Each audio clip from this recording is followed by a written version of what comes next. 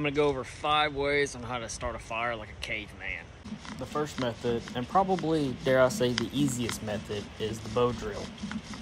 The second method, and I would say the hardest method, is the hand drill.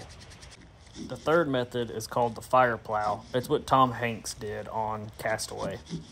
Fourth method is hitting two rocks together with some char material.